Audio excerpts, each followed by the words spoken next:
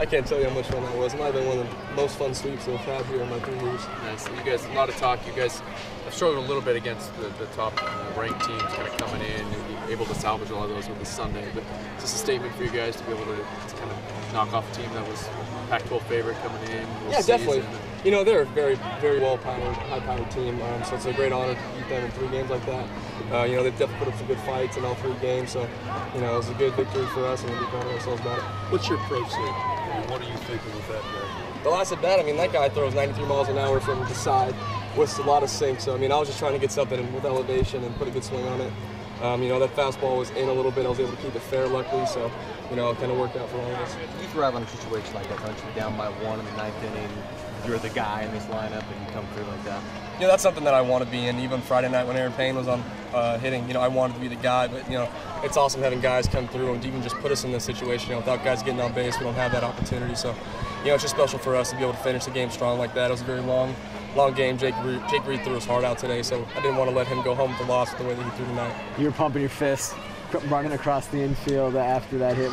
Can you talk me through your emotions uh, when you guys won, when the when Payne crossed the plate? I can't even describe you know the emotions going through my body. It's just everyone's so exhausted. You know, the sun's beating down on us three games deep, and we're just all tired and want to give us it all.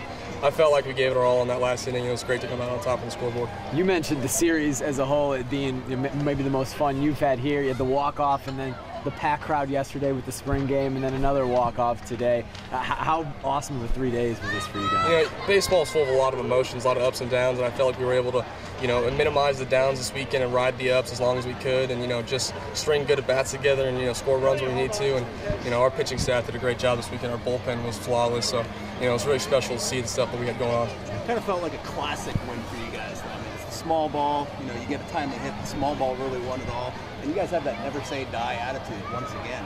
Can just talk to that? That's just our mentality, you know, never give up. I don't care how many outs there are, how many runs we're down, we're not going to give up. Whether it's some small ball or long ball, we're going to find a way to get it done. And, you know, we, we try to find different ways to get it done each day, as you can see. I mean, a squeeze wins the game right there. It's just a really special opportunity for us.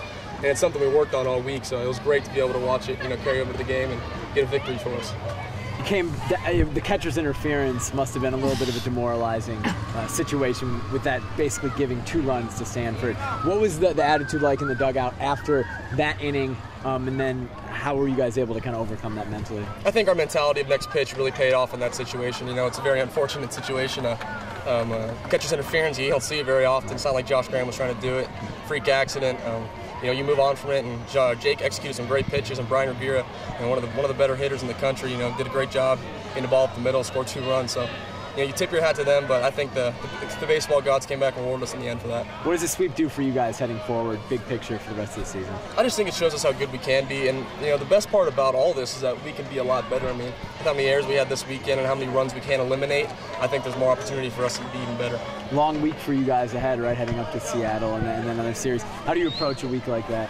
Well, get ahead with schoolwork because this is week five, so I'm going to be missing a lot of midterms and stuff like that. But, you know, professors do a good job of working with us. But I just think we got to take it one game at a time. We'll get up to Seattle tomorrow. We'll drive up there and get our minds right and get ready to play Tuesday, Wednesday, and, you know, take one series at a time. What's your confidence level right now? Stepping the better spots.